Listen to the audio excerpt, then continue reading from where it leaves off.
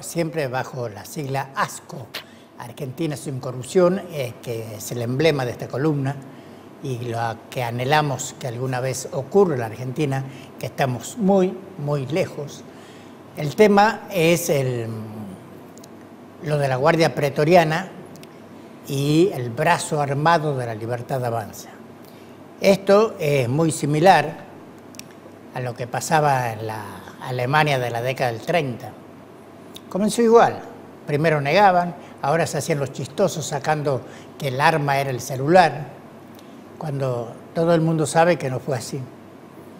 Realmente es eh, lamentable que estemos viviendo todas estas cosas, esos gritos de fascismo, del nazismo que hizo tanto daño en la historia de la humanidad y que este, se perfile en estos chicos que no tienen idea de lo que, de lo que están haciendo eh, y en su ignorancia solamente violencia y odio, que son los peores consejeros en cualquier ser humano. Así que, bueno, no digo espero que evolucione porque sé que no va a evolucionar, al contrario, cada día va a ser peor. Así que, bueno, tendremos que soportar los argentinos y ver qué es lo que ocurre en su núcleo social en el futuro.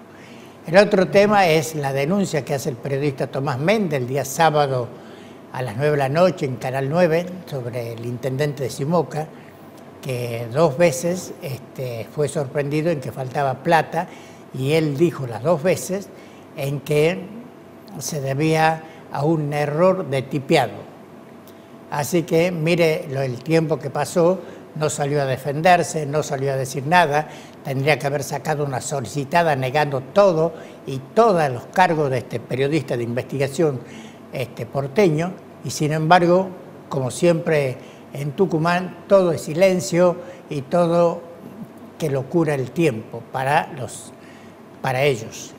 Así que bueno, muy, muy lamentable, muy triste, porque un lugar este, con, tanto, este, con tanta historia como Simoca no merece, realmente hay un barrio que tenía que haber tenido luminaria y, se, y apagan todas las luces del estudio y el barrio no tiene una luminaria.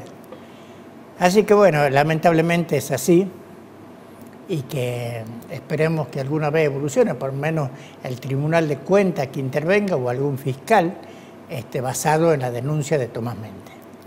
El otro tema es también oscuridad, lamentablemente, en el robo del siglo del agua, que ya vengo reiterándolo en mi columna de las mañanas, en que realmente después de afectar a 7.000 personas, hoy pareciera ser que Fiscalía de Estado lo quiere este, pasar al olvido.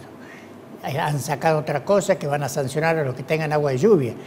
Eh, bueno, el proceso ese, ¿cuántos afecta? 50 personas, 100 personas. Esto afecta a 7.000 habitantes de Yerbabuena. Nunca han dicho nada. Zamora, que, es el dueño de esto, nunca apareció hay un silencio tremendo. Y el Mollar peor, porque ni siquiera aparecieron los, este, el delegado comunal, Jorge Cruz, no apareció nada, ya se cayó la, se cayó la casica, Mamaní, y se callaron todos, no hay investigación retroactiva, no hay nada. La fiscal de Estado tapó todo con una solicitada el domingo pasado diciendo que sigue para adelante. Ahora estaban poniendo cartelitos, prohibido esto, pero 15 eh, años de latrocinio, ustedes se imaginan lo que es. Ya había boliches, había cancha de fútbol, barrios privados. Nadie va a investigar nada. Realmente es muy triste y lamentable lo que pasa porque todo es una oscuridad total. Es como esto de la legislatura, que después de 16 años saca a aprobar el voto electrónico. ¿A usted les parece?